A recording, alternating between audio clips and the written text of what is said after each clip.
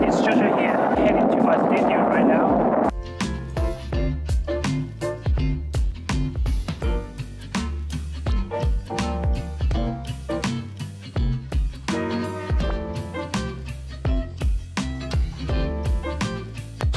Last Friday, I uploaded my first video on my new channel, and the result was insane. Not only did the number of my subs grow over 17k, holy shit, that was so crazy, really. Totally beyond my imagination. And also, I got lots of messages of love and support from all over the world. I just want to say thank you, thank you so much. They put a lot of pressure on me, but I guess that's a good kind of pressure. Okay, let me get my boba tea first. Yeah. You know, I, I read every single comment and uh, I really wanted to reply them all, but there were just too many. Boba milk tea. That's the weekend I went to Kenting with a bunch of my good friends.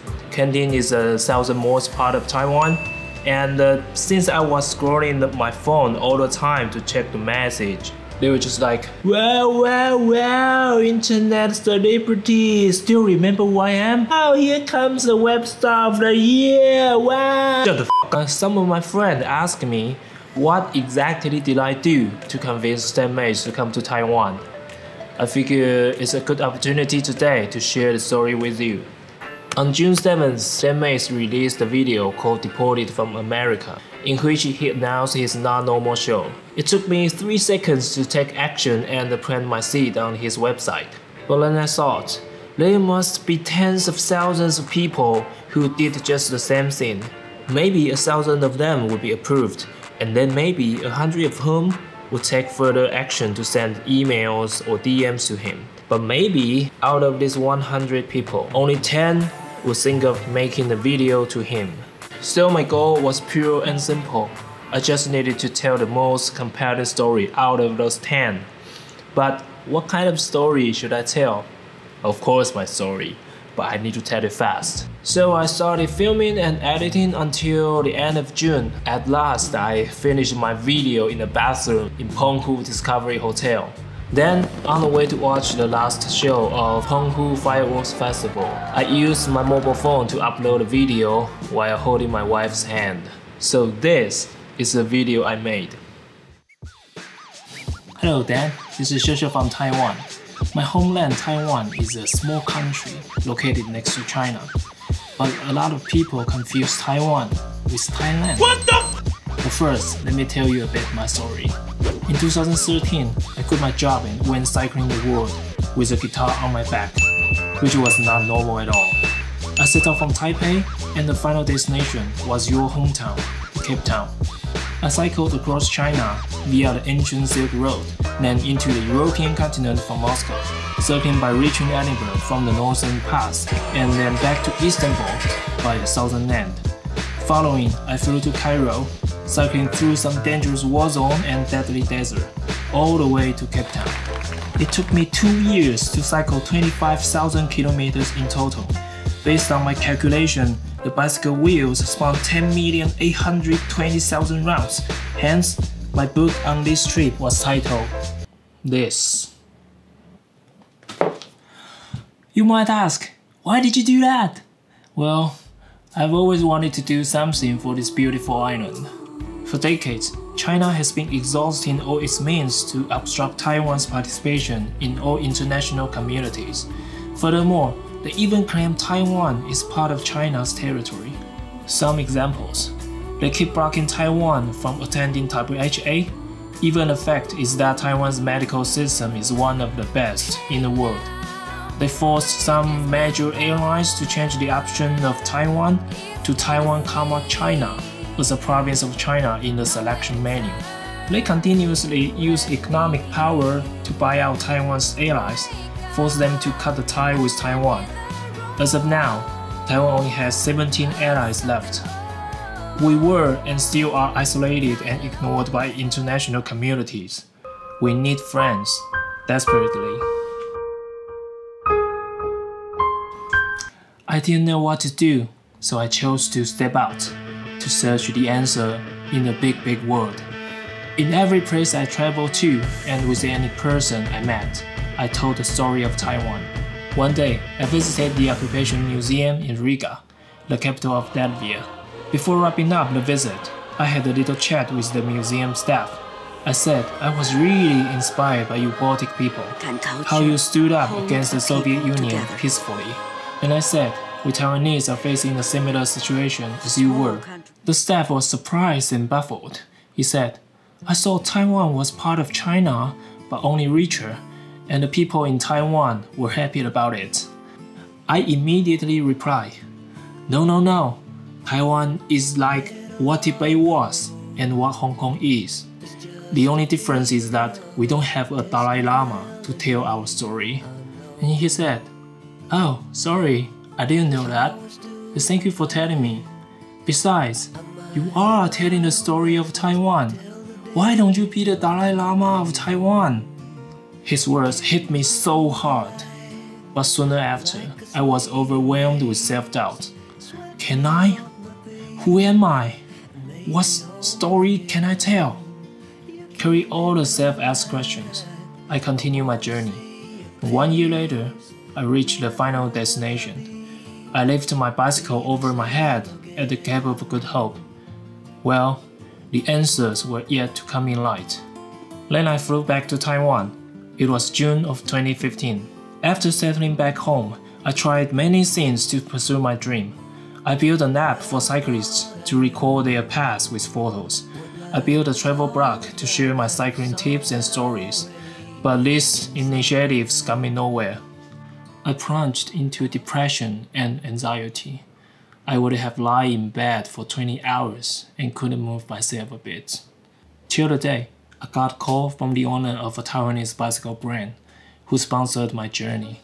He said to me, I've got hundreds of bicycles sitting there waiting for someone to hire. Why don't we take the initiative to find ways to attract foreigners to come cycle in Taiwan? It was like an epiphany. How could I not think of it? I have cycled half the world, and I truly believe Taiwan is one of the best places to cycle. I did cycle through some countries with great infrastructures for bicycles, such as Germany and the Netherlands. While enjoying the smoothness, sometimes it could be boring with the same landscape over hours and hours. In Germany, I could go for three days with only trees in sight. In the Netherlands, only trains stretched for as far as I could see. I once fell asleep on my bike. Imagine there's no place like Taiwan that you could have it all in one day. Picture yourself hiking in some mountains over 3,000 meters high, and then in the afternoon, you just hop on a bike, cycling all the way down to a beach to surf in the Pacific Ocean. What's more, along the way, you could see mountains and gorge, tea plantations, and paddy fields. It's gonna be a feast to your eyes. Various cultural forms and lifestyles of Aboriginal, Han, new immigrants weaving together. While admiring the diversity, you could refill yourself with local cuisines, interact with friendly locals, and hospitable police officers. Not to mention that Taiwan is also the heart of bicycle industry. We have neither monuments of thousands of years nor grand mountains covered with snows, yet we do pride ourselves with these dedicated sceneries, delicious cuisines, and wonderful, kind people. They are like pearls from the oceans. Each is unique, and it only takes a bicycle to thread the pearls to be one of a kind piece of jewelry. This is the story I want to tell. I started out exploring Taiwan with my bicycle in a thorough way I have never done before, with camera and a drone. I took a lot of photos and footage from land and air. Meanwhile, I tried to draw out suitable itineraries. I had the pleasure to guide a group of French visitors circling Taiwan on a bike that year. I also took a Swiss family who has been living a nomadic cycling life for 8 years to cycle the east coast of Taiwan, and they just loved it. When I was about to start my YouTube channel, to show the world how fantastic it is to cycle in Taiwan. You launch your not normal show, so I have to do this. I would like to challenge you to cycle one of the most difficult cycling paths in the world, the King of the Mountain. This path starts from the beautiful coast of the Pacific Ocean and ascends to height 3,275 meters at Wuling. Length totals 100 kilometers with 3,500 meters ascent. It's not gonna be easy, yet I could guarantee you it will be once a lifetime experience. Of course, you can always hop on an e-bike or a support vehicle if you want. So please, please come to Taiwan to cycle with me and help me to tell the story of Formosa, the beautiful island of Taiwan. Oh, and other than that, I just want to say, you're awesome, bro. And thank you so much for telling us that we are awesome too. I'll see you in Taiwan. I immediately sent a message to Dan on his website, and uh, a weekend later, I got email from his production manager. Here's what he said. I got this email at 6 in the morning. I had to try my best not to scream out loud and wake up my wife. So, what happened next? You already know that. Some people say that I was lucky. Yes, indeed, I consider myself the luckiest guy in the world but I think luck isn't the only reason why this story came true. If I picked a safer road six years ago, if I didn't quit my job to travel the world, right now I think I probably would be a manager in MediaTek with a fancy car, a big house, a 5 million Taiwanese dollar annual salary, maybe some kids. And now I'm 41 years old with only motorcycle and my bike, a rented house, and a saving that's about to run out. You might ask me, is all of this worth it? The answer is a resounding yes. Because I got so many things that money can't buy. I saw the world, I found the purpose of my life, and also the story you are witnessing right now.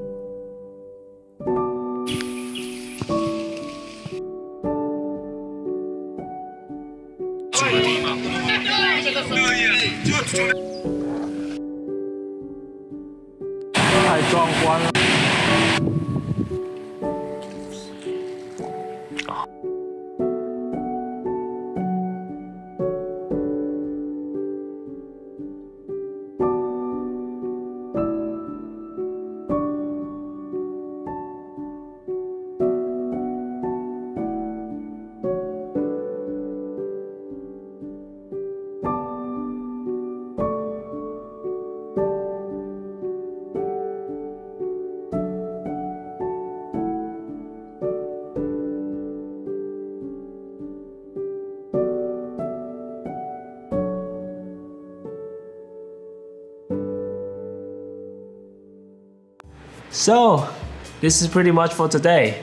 I hope you like this story. If you do, please hit the like button.